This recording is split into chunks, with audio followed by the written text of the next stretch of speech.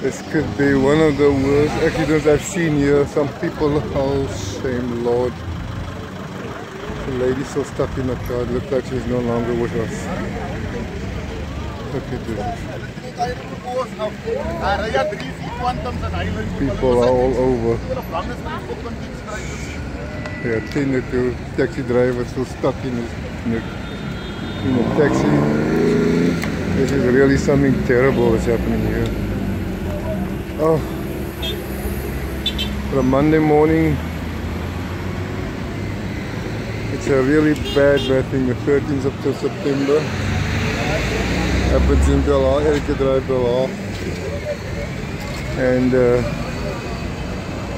apparently the taxi was speeding and jumping the robot. Look what happened here. Four cars involved in this accident. It's terrible. Really, really, really bad.